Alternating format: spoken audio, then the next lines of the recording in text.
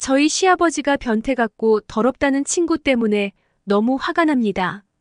결혼하고 3년 뒤에 시어머니가 돌아가셨습니다. 그래서 시아버지하고 같이 살게 됐습니다.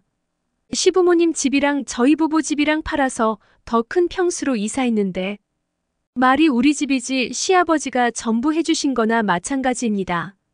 그런데도 그 흔한 시집살이 안 시키시고 저랑 사이도 정말 좋고 저에게 너무 잘해주십니다.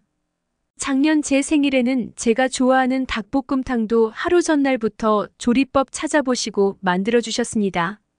작년 저희 시아버지 생신날 제가 아침부터 생리가 터졌고 평소에 생리통이 너무 심해서 밥도 제대로 못 먹고 누워서 끙끙대는 걸 남편이 잘 알아서 남편은 시아버지랑 밖에서 저녁 먹고 올 테니 집에서 쉬라고 했지만 제가 꼭 생신상 차려드리고 싶어서 점심 먹고 장 봐서 간소하지만 나름 열심히 차렸습니다.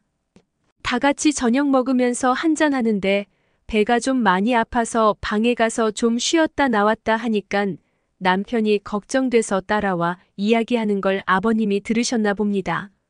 생일 지나 얼마 안 돼서 남편이 저한테 한약 주면서 생리통에 좋대.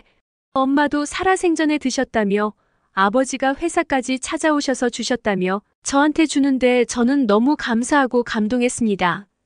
그러고 시아버지가 오셔서 제가 고맙다며 잘 먹겠다고 했는데 딸이 없어서 딸들 마음은 모르고 다른 집 딸 가진 아빠들은 이런 거 챙겨주는지 어떤지 모르겠다며 혹시나 민망해 할까봐 미안하다며 그 약도 먹고 마시는 차도 좋은 게 있으니 갖다 주신다는데 저는 너무 행복하고 울컥했습니다.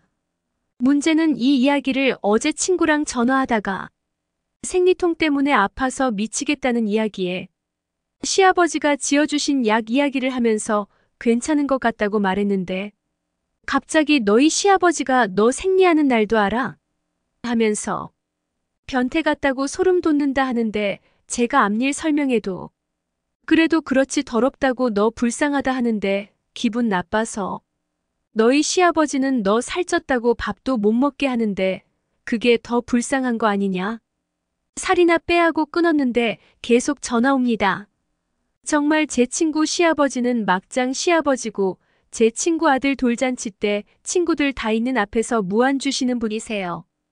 끼리끼리 일 수도 있지만 저희 시아버지 욕한 게 저희 부모님 욕한 것만큼 화나고 다음 모임 때 또 볼 텐데 한마디 더 하고 싶습니다. 저희 시아버지가 욕 드실 만한 일인가요? 저는 오히려 너무 감사하고 제가 늘 받는 만큼 못해서 죄송합니다.